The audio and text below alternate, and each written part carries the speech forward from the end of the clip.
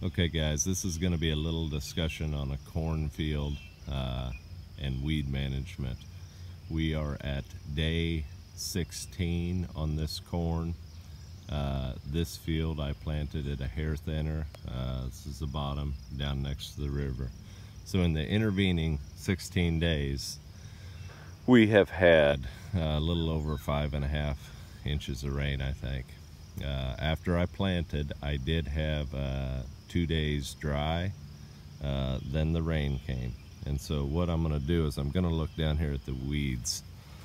Uh, what happened with this field, uh, planted into good moisture, the corn all started, didn't have to go too deep. There were two field cultivator passes to get the ground to dry out in fit condition.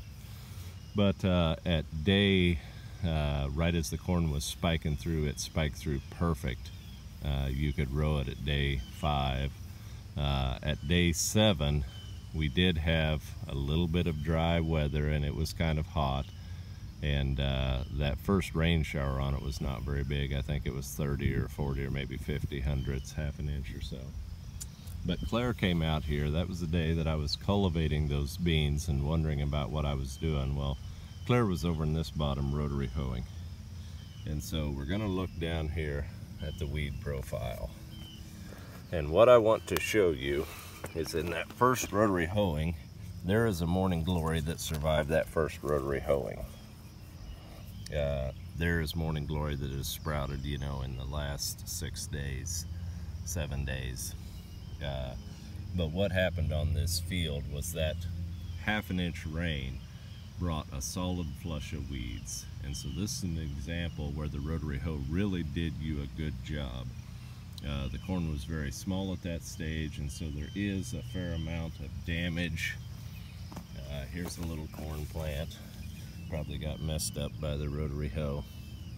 Uh, there was some damage out here by the rotary hoe when the corn was that small.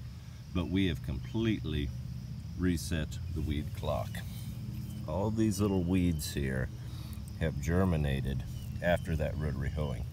That rotary hoeing killed pretty much everything out here, all the little foxtails and all the velvet leaf. Not seeing any mature velvet leaf that survived. That's at day 16, but I'm seeing, you know, morning glory that survived.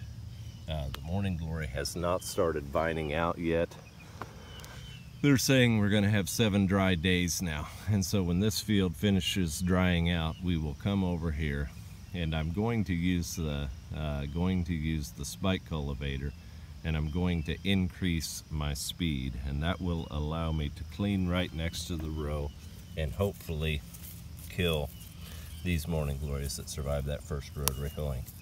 They're small enough yet that if I can put some dirt on them uh, you look at, you know, I talk about the height differential. So the corn uh, has, what's it have? It has four full leaves on it now. The big plants have four full leaves on them. But the spike cultivator should be able to, we should be able to move right along and push, you know, an inch or two or three on this corn plant, three inches, and, and take it up to that bottom leaf maybe two inches, two, two and a half inches. But uh, the rotary hoe knocked down the ridges. The field was ridged pretty good. The rotary hoe knocked down the ridges and did a perfect job of resetting the weed clock, uh, taking out that flush of weeds that was running right with the corn when the corn was planted. And so uh, things are looking good. Right now on this field, if I do get my, you know, three or four more dry days, uh, I will be able to get in here with the spike cultivator and clean this field up perfect. And uh, there's enough of a height differential between the weeds and the corn. And I will be able to make it look uh, very good.